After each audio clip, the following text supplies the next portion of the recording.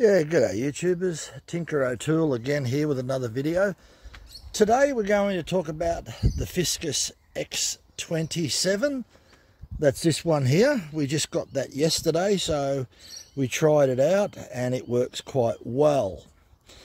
So we'll go over that in a minute, but as you can see on the table, there's quite a large assortment of splitting axes. There's only one axe that I've got there I do have a couple more axes in the garage, but uh, we're mainly talking about the uh, splitting mauls or splitting axes. So we've got both types here. Fiskars only sell one splitting maul, and we'll just zoom in there, you'll be able to see that. That's this particular one here. This is a 3.6 kilogram Isocore Pro. Beautiful uh, like 70 millimeters wide uh, sledgehammer for driving in wedges. So that's the difference between a maul. A maul has a sledgehammer. This is an El Cheapo one here. And this is a beautiful Estwing that weighs 2.7 kilos. So you've got 2.7 kilos here and you've got 3.6 kilograms here. So this is an eight pounder and this is a six pounder sometimes you'll see uh, 10 pounder ones but what you've got to remember is that if you've got to start swinging these big boys uh, for a couple of hours you're going to get tired. This one here is not too bad. It's 2.7 kilos. And this one here the small one this one here is only two kilograms. Now in the Fiskars range a split-in axe we go from a little tiny axe so this is a little tiny axe from Fiskars Fiskars aren't big on making axes. They only make little tomahawk type axes. And as you can see, it's just a bit of a wedge shape, but it doesn't have that real large uh, wedge shape like the splitting axes. So this one's not too bad. It's okay for camping. It's more of a uh, boy's axe, little uh, axe than anything else, but nonetheless can be very dangerous. So then if we go up to the Fiskars, I've got the X17.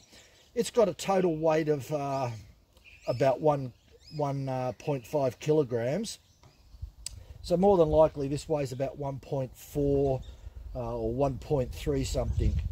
Then we jump to this other one. I'm not even too sure what this one is, but this one here is uh, 1.6 kilograms. So it's only 100 grams heavier than the X17. So it's almost similar. It's just got a longer handle. This is very old, as you can tell by the uh, the black uh, holster, whereas all the modern holsters have this clip-in mechanism, and especially now, like you look at the X27, it's got the orange uh, part on it. This is the XA22. This is a sappy, or what some people refer to as a hookaroon. Uh, really do like using that uh, hookaroon, not so much to pick timber up, but to drag timber out of the trailer. So when I come home and I empty the trailer, rather than bend over, I can use this and dig it into the timber and drag it out of the trailer. So I really find that useful uh, for doing that. Uh, interesting enough, if we go and have a look at the one at the back, I remember there was a, a guy on YouTube that looked at this and looks like the Tesla sign actually. the T looks like a Tesla sign yeah, he looked at this and he goes, oh, wow, you know, look at this thing here. It fans out. It's brilliant. But look, it does work. But the problem is it's only two kilograms. So two kilograms weight, head weight, it's not going to split uh, your really big logs so easily. The only other thing that I threw in there was just a bit of an axe. Uh, this is a cyclone axe. It's not a bad axe. It's a polished axe. Uh, as you can see the difference, it's very, very thin type wedge. Uh, so just thought I'd throw that in there. And then when you look at the, the Estwing, very, very, look at, look at the width that it's got there. And you've got this beak, parrot beak on the top here. This is to give you a bit of strike protection, overstrike protection. Very, very sharp, razor sharp yeah, there's a lot of people out there that turn around and say, oh, splitting mauls don't need to be sharp. Yes, I agree with that. In principle, splitting mauls don't need to be sharp, but you will benefit from them if they are sharp. And I can be a testament to that. Have a look at that finger. I was sharpening these up and uh, yeah, cut myself. Which reminds me, before we get into the X27, I want to show you something. So just bear with me. Okay, what I wanted to show you was the Fiskars sharpener, uh, axe sharpener and knife sharpener. You push it uh, that way for knife and you push it that way for axe so it just slides backwards and forwards then you've got this like little spiral type little wheel in the bottom and you just place your axe in there and you sharpen it and you only need to give it about three or four strokes and that's how I uh, cut myself quite deeply with the X27 I just ran it through there a couple of times these, uh, I got this on a deal when I brought, I think, the little small axe. It came with a package, uh, so occasionally Fiskars do that. It would be a great idea if Fiskars, uh, I don't know why they don't make proper axes, uh, two kilo axes, but they don't. They're more into the uh, wood splitters. So, okay, the X27, how good is it? Well, first of all, the X27 comes in two variants. X25 and X27's got exactly the same head. They weigh the same. 2.4 kilos, 2.56 kilos total weight with a comp, uh, fibre comp uh, type handle. So now you're going to ask the question, what do you want, a longer handle or a shorter handle? You've got 36 inches, I think, versus about 32 inches. So there's, there's a difference of about four inches between the two. I actually prefer the longer handle because it gives you more striking power, uh, more velocity, uh, yeah, yeah, speed as, as, uh, as you bring the axe down. The other thing is the, the longer the axe, the further away it is from your feet. Now, a lot of people might say, oh, that's too far away, or they just don't like it. But you do actually get used to using it. It's a little bit longer than the uh, Fiskars Maul. So if you were to put it up against, not much. What would it be? Oh, 50 mil? Wouldn't be much in it at all. So it's just a little bit longer. So maybe that one's 34 inches. Anyway, nonetheless, uh, okay, the X27. Let's take it out and have a look at it. So you've got this beautiful orange colour, so especially if you lived in places where there was snow or something, if you drop that on the ground, you're going to find it, so it's not a problem. Because when they went back to the, the earlier ones, they were just all black. Okay, so here it is. Let's have a look at it so you can get a good look at it. What is unique to all of the uh, Fiskars axes, the wedge, they all look the same. Now, for those that don't know, roughly this angle that you see here on the face, the cheeks, so that's referred to the cheeks. If you hold that there, you can see a little gap in between there. So all the Fiskars have that slight little curve there. This angle is approximately 25 degrees. And if you look at the edge there, it's a little bit difficult to see, but on the edge, you, know, you can see it there, you'll see it's, it's about six mil, quarter of an inch. That's 30 degrees. That is the cutting edge on all Fiskars uh, splitting axes, except for the uh, the ISO uh, Pro Maul. That's a different angle altogether. And one thing about this sharpening device that we mentioned before, it's designed to sharpen at a 30 degree angle on the axe setting. Not too sure on the knife setting, it could be slightly different, but I think it may be around still 30 because 30 degrees is great. So, because it's a fibre comp handle, uh, you've got a 25 year guarantee on this if you register on the site. So, all you've got to do is go on their site and register. Uh, one thing about this being 2.56 kilo in total weight, yeah, I'm not saying you're going to be able to swing this all day long, but certainly you're going to be able to swing this much longer than, uh, say, the 3.6 kilogram type one or the 8 pounder. So this is around the five pound mark. And then you jump to the six pound, then you got the eight pound. And I don't have a, a 10 pounder because I've got a hydraulic splitter, a 20, a 33 ton hydraulic splitter. And, but I still play around with splitting mauls. So which one do you buy or which one do I recommend? Well, first of all, I recommend all the Fiskars. Uh, they are razor sharp. Fiskars make them that way, as I said you can sort of read up on about axes and splitting uh, mauls and splitting axes, and they'll tell you that they don't have to be sharp. I always say this that when you're either going to split timber or cut timber or work with timber in, in some sort of form of cutting or splitting, the sharper the instrument that you've got, the better it works. That's that's the way, and that's uh, that must be Fiskars' uh, philosophy because everything they've got is sharp. So, and the steel's very high quality steel, although admittedly I have chipped uh, uh, Fiskars, but uh, maybe there was, a could have, now this is the other thing when I say about chipping it.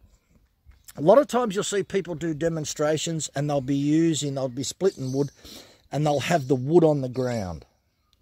Now, I don't split timber with the wood on the ground. I split it on a block. So if we go over there, you can see my splitting blocks. There they are there. Different heights. So the one in the middle, that's normally what I use for the chainsaw. I put the chainsaw on top of that. Uh, I'll put the logs on there and I put the chainsaw on top and cut through them. The little one on the, the left, so the one that's on uh, the left-hand side, uh, normally I use that for splitting. Uh, so, yeah. So, back to our, our uh, splitting axes. Which one do you want to use? Well, as I said, the Fiskars X27 has got a longer handle. You do get used to it. You will find out now. Now, when I was talking about before how some people put it on the ground, their logs on the ground, like a good example would be this. There's a really good example. So if we look at those logs, let's just say that that log there, that the one on the right hand side, that you want to split that and it's sitting on the ground. And just say it takes two strikes, and on your second strike, the, the splitter or the maul goes through and hits the ground. Well, I grow rocks on this ground. The, the rocks rocks always find their way to the surface uh, through uh, during the day it gets hot so the rock expands and when the rock expands then it cools down and when it cools down and it shrinks again sometimes the the little particles of soil fall in the little crevice that it expanded and then this expansion and shrinkage slowly moves the rock to the surface. So I constantly get rocks coming to the surface and if you're going to split wood in that in situation you're going to get chips in your axe. You're going to hit a, a rock and you're going to damage your axe. So look, worst case scenario, that if you do like splitting on the ground, you can always cut yourself a chopping block. It's only six inches high, something like that there. So that when your splitting axe goes through or your splitting maul goes through, that it's not going to touch the dirt because dirt's going to blunten it quick as well. But rocks will certainly damage it. So to avoid that, even if you make yourself a small chopping block uh, to avoid the damage. So the Fiskars uh, X27. As I said, it's got a longer handle. Uh, it depends on the height. I'm about 5'10". So 5'10 for me, I like the Fiskars X27. If you're maybe 5 foot 2 or something, you want to maybe go to the X25, which is just a shorter handle by a couple of inches. But certainly, to me, just because it's longer doesn't mean it's more awkward. You do get used to using what you've got. So you will definitely get used to using the X27 with a longer handle. The longer handle gives you, as I said, more velocity as you bring it down and strike. So it's up to you. But everybody's different. And uh, I highly recommend Fiskars. I Look, even though you see the Fiskars products that I've got, I've got many other Fiskars products like garden shears and uh, other garden tools in the Fiskars range. Uh, they even make rakes. So uh, I do have a lot of stuff at Fiskars. Why do I buy Fiskars? Originally, I got one as a present. My first one was this one, this splitting axe. As I said, about 15, 16 years ago. That was a present that I got. And I was really impressed with it. And since then, the collection has slowly grown. So if you look at this here, this is the, this is the last thing that I purchased, which was yesterday and I purchased that about seven or eight months ago, and the rest are quite a few years old. Uh, this is a fairly recent addition as well. That's not that old, less than a month as well. So that's probably going to be about it. I've got enough splitting axes and enough to last me a lifetime. I do have a very old one out in the garage. Uh, it's very old. And it's interesting when you look at block splitters. Block splitters are totally different. Fiskars only make one block splitter, which is, as I say, the ISO, the Fiskars Pro ISO core, which is that one there, because all these type ones aren't meant to be used as a sledgehammer on the back. Uh, they're not meant for that. They're meant to be only used as a uh, splitting wedge only. So that's about it on the Fiskars X27 being a total weight of 2.56 kilos, you could use it uh, for hours on end and you won't tire out a lot.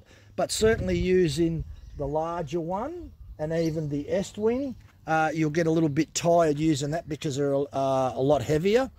So the thing is, use the big ones on big logs. Use a, this type. To me, this this is good for, say, medium type. The X27 to me is from medium to probably up to not much bigger than about a foot. Once you're getting bigger than about a foot, you really need to go to the big maul.